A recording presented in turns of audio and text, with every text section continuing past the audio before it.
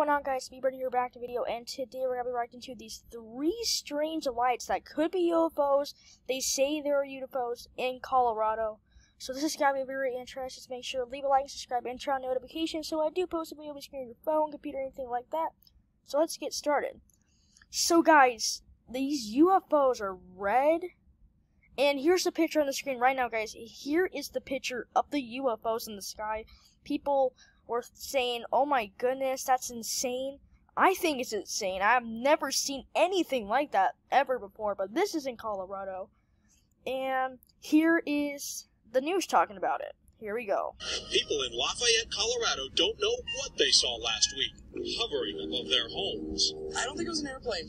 Definitely not. When it flew over, there was just this really weird energy. They're just like levitating. Lester Valdez saw the lights, along with all of his neighbors. I have never witnessed anything like that, though.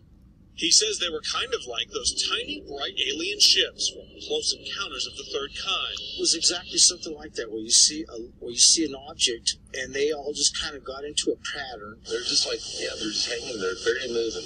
Leroy Vanderbat and his son Nick managed to capture them on camera. It was completely quiet, no noise at all. Leroy doesn't know what it was either, but he is sure that it wasn't a satellite, wasn't a helicopter, and he says it wasn't an airplane.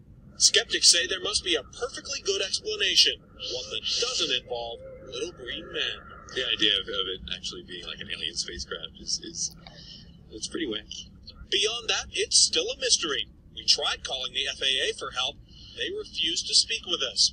It is possible this is all a hoax.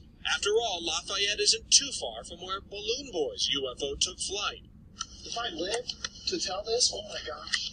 For now, it's clear this is an unidentified flying object, plain old terrestrial. Clayton Sandell, ABC News, Lafayette, Colorado. That is crazy, guys. Look, people have these very weird energy and very weird like vibes about it. But there we go, guys. And people were just shocked. I never even knew that was like just happening like that, that fast. But there we go, guys. That's very, very weird. But just see in the comments if you ever seen a UFO in your area. But yeah, guys, the three UFOs Colorado. So I hope you guys enjoyed this video. Please like, subscribe, and I'll see you guys next time. Bye.